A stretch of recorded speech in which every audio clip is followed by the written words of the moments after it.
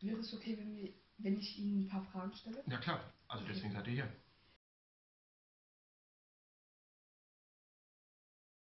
Oh ja, ich bin sehr gerne Lehrer. Mit der stellvertretenden Schulleitung hat man natürlich wesentlich mehr Arbeit, aber auch das macht mir eigentlich Spaß und Freude, Verantwortung übernehmen zu können. Heikles Thema. Benehmen ist, äh, ich sag mal, in den letzten 20 Jahren, und seitdem bin ich schon Lehrer, ein bisschen geringfügiger geworden, sage ich mal vorsichtig. Äh, In manchen Klassen äh, ist es durchaus schwierig, da überhaupt so Grundlagen zu legen. Insgesamt will ich mich aber nicht beschweren. Also sind junge Leute, kann man mitarbeiten, kann man was tun.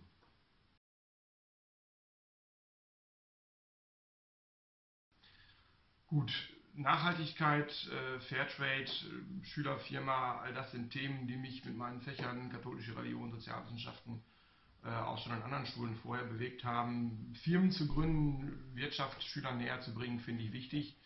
Fairtrade dann in den Blick zu nehmen, für Gerechtigkeit zu sorgen, all das sind Dinge, die man nicht außer Acht lassen sollte. Und deswegen habe ich sehr schnell an dieser Schule, ich bin jetzt erst anderthalb Jahre hier, dann äh, den, die Idee der Schülerfirma aufgegriffen und das versucht umzusetzen.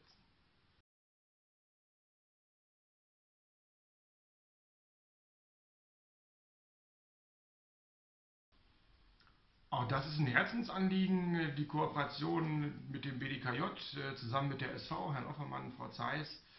Ähm, bedingt dadurch, dass ich früher sehr lange SV-Lehrer war, habe ich das gerne gemacht und äh, ja, gehört mit dazu. Ist meine Schule, unsere Schule und dann kümmert man sich auch um die Gestaltung.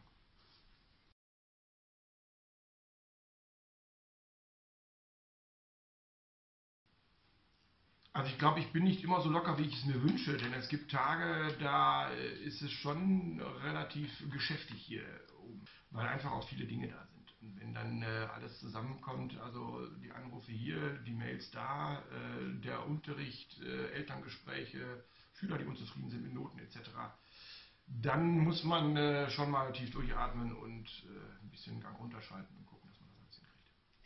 Vielen Dank für das Interview. Sehr gerne.